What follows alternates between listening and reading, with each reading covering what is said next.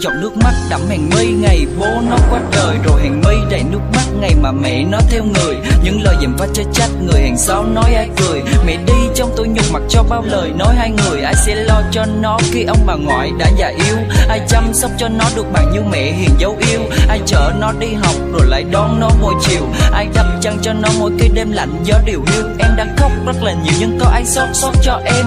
Nó thèm đồng tiền lẻ của mẹ cho nó để ăn kem nó thèm tiếng à ơi của mẹ ru nó ngủ trong đêm. Nhưng có lẽ sẽ là ký ức mà nó giấu sâu mãi trong tim. Vì mẹ đã nhẫn tâm bỏ em đứng khóc, góc hiên nhà. Theo người đàn ông lại mẹ nhìn em không chút xót xa. Tay mẹ đút vài trăm ngàn nhét vội cho ông bà lên chiếc xe lạ rồi phóng mẹ vào trần xa. Và ngày tháng trôi qua lời chế giễu, lời dèm pha. Nó vẫn nghe, vẫn biết, nó vẫn mặc kệ người ta. Nhưng đâu đó trong suy nghĩ nó vẫn không thể bỏ ngoài tai. Những lời đó như động lực giúp nó cứ lao vào xa đà. Cứ thế nó bỏ học, bắt đầu biết cãi lời ông bà. Ăn cắp hết tiền nhà, cùng tụi bạn bỏ đi xa. Bước chân lên sài thành nơi lòng lại xa hoa. Bắt đầu tập tình chơi từ việc cà phê với thuốc lá. Tập xiết nỏ bồ đà, rồi dần dần chơi với ma. Khi túi không còn đèn, bắt đầu ăn cắp của người ta.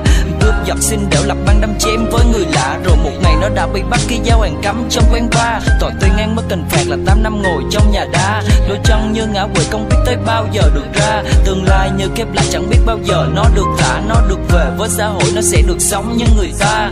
Ngày nó vào trại chỉ có ông bà, nó tới thăm. Nó nói với ông bà là con nhớ mẹ lắm. Giọt nước mắt nó ngậm ngùi, ông bà chỉ biết ngồi lặng thầm. Nó bước quay vào trong với một nỗi buồn sâu thẳm giấc ngủ đêm nay, nó muốn mơ mình thấy mẹ thấy mẹ đến thăm nó và sẽ hát ru cho nó nghe. Nó sẽ nằm trong lòng mẹ và ngủ một giấc thật là dài. Nó sẽ ôm chặt lấy mẹ, giữ mẹ của nó lại mãi mãi nếu như ngày đó mẹ nó không bước theo đam mê, Nếu mẹ ở lại thì cuộc đời nó đâu phải như thế. Nếu như còn có mẹ thì tương lai nó đâu quê chờ Và nếu nó còn có mẹ thì cuộc sống đã bình yên nơi vùng quê. Đôi lúc nó rất cần và dường như căm ghét mẹ lắm. Mẹ bỏ rơi cuộc sống nó con tàu bé nhỏ như bị đắm.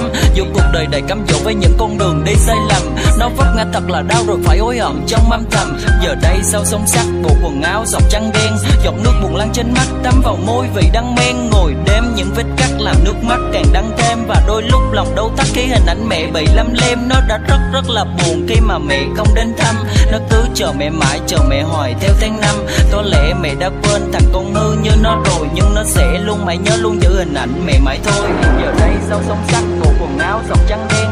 Giọt nước buồn lăn trên mắt, đắm vào môi vì đang men. Ngồi những vết cắt làm nước mắt càng đắng thêm và đôi lúc lòng đau thắt khi hình ảnh mẹ bị lăm lem nó đã rất rất là buồn khi mà mẹ không đến thăm. Nó cứ chờ mẹ mãi, chờ mẹ hỏi theo tháng năm. Có lẽ mẹ đã quên thằng con hư như nó rồi, nhưng nó sẽ luôn mãi nhớ luôn giữ hình ảnh mẹ mãi